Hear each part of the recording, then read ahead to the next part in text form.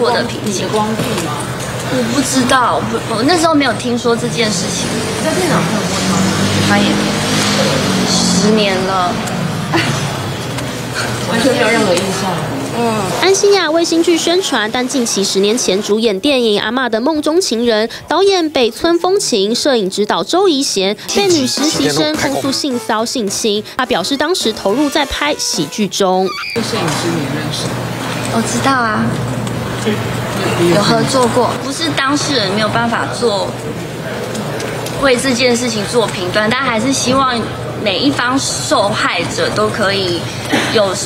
办法好好的疗伤。北村风情沉默一天也终于发生。他说：“没想到让刚入行的实习生协助女主角跟女配角两个角色的灯光替身，在测试与排练时造成对方情绪上这么不平静，真的很抱歉。”他也指出与事实出入的部分让人很惊讶及困惑，已交给律师处理。剧集七天后开工。上映时，安心亚曾透露露内裤的一场戏没用替身，一口气穿上六条内裤防走光。蓝正龙还被。问到会有尴尬气味吗？北村风行主动回应：新雅一定是草莓味。如今受害者还爆料，导演自愿当男主角的光替，看光女方的裙下。主动那时候就是他就是觉得那个当下他来让我踩，我也比较有安全感。